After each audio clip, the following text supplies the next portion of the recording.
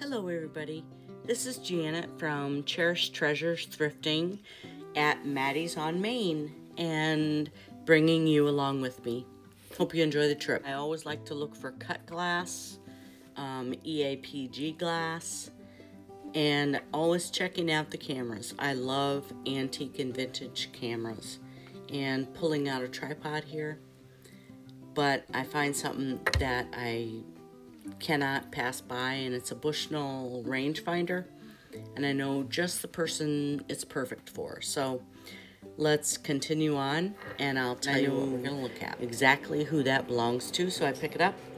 Milk glass, elegant glass, amber glass, toys, plush. I always check out the toys. I like to look for um, dollhouse furniture, um, plush. I'm going back to the compote here, smoky glass. I'm not sure who that's made by, but then I spot the, I can't, is it L.E. Smith? Viking, I'm not sure which, but it's a lidded uh, candy dish, beautiful in an amber glass, and unfortunately there's a chip. Some things you can forgive a chip on, but this isn't one of those. So I pass it by and I go back. I always look at the toys, always look at the games. Like I, I told you, I'm looking for specific things. They have a lot of Boyd's Bears there, Boyd's Bears there that somebody took a really good care of. They're boxed in um, acrylic containers. Uh, doll, I, I was thinking there might be some dollhouse furniture here, but it's just um, plastic dish sets, which isn't a bad thing to, to purchase. I like to look for Inuit or ethnic dolls, um, Native American dolls, um, but there weren't any there today. This is a section that Maddie has that has a lot of teapots, a lot of them. There's a lot of Japanese ones, a lot of contemporary ones, but I always check them out. I love dishes, so and serving type pieces. A lot of quilts. I should have picked this one up. I don't know why I didn't. I wish I would have because it looks very well made.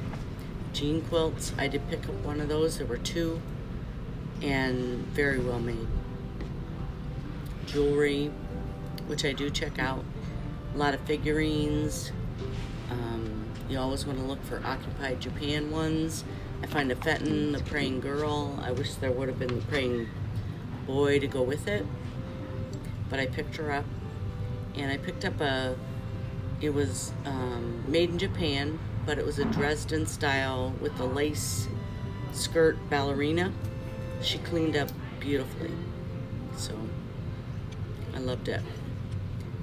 It's hard to find the Dresden ones, but this was this was nice. No chips, cracks, beautiful. A lot of precious moments at Maddie's. And a lot of figurines. And people do like dogs, specific type animals. I love this section with the insulators, the tobacco boxes, tins, and this is a framed um, cut off hair pigtails, I guess. They belong to somebody. It's named on the back. I wish I would have bought it. I almost did. And I'm happy for whoever did buy it because it's gone now. But just an unusual piece, but beautiful curls. I do check out the jewelry. I love miniature perfume bottles, and I do sell a lot of those. But on eBay anymore, you have to be careful. Um, they're very particular about contents in perfume bottles, if it's vintage, if it's new, and if you have any Chanel or things like that, do not even attempt to sell it because you'll get banned. So I'm just looking at these. I, I, I thought I picked them up, but I must have I must have set him down and not gone back to him. So no problem, somebody else got him and that's great. Because there's enough for everybody.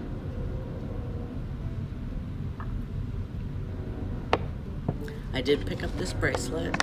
It's a brass and copper kind of braided wrapped bangle for a man, vintage, and um, not something that you come across very often. So not sure how it will sell, but I'm certainly going to try.